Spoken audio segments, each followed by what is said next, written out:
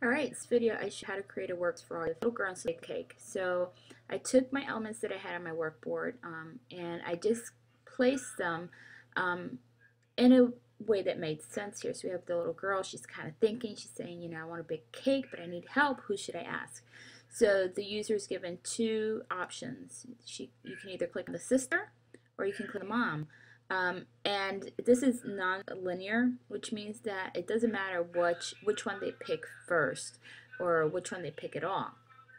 So we're going to start here, and I'm just going to show you how this is going to work. So I'm going to launch it here.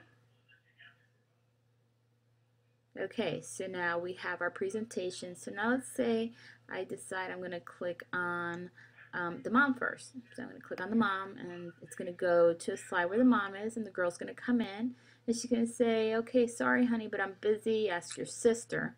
So the user has to click next up here and it's going to bring it back to another screen um, that's going to give you some feedback here. You know, really? That was no help. So now you see the mom is grayed out here because we already clicked on the mom. So now we're going to click on the sister because the mom told us to ask the sister.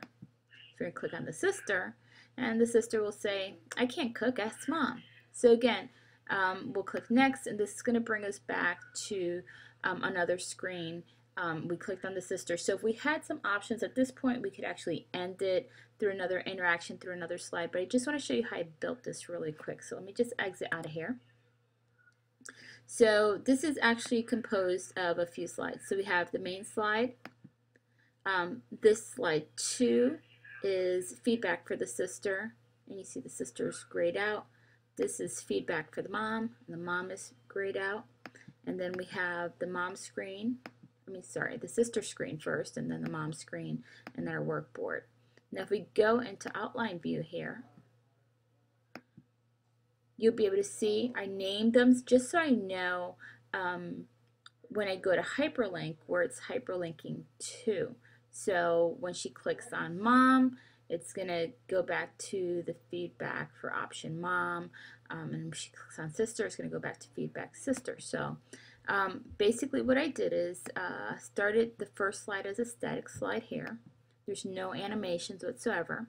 Um, but I did create two hyperlinks. And over these pictures, so these are pictures put into shape, and over the pictures there are actually um, some circles and as you can see here so it's basically a um, oval that I put directly over the image and I attached the hyperlink to the image itself and I did the same down here.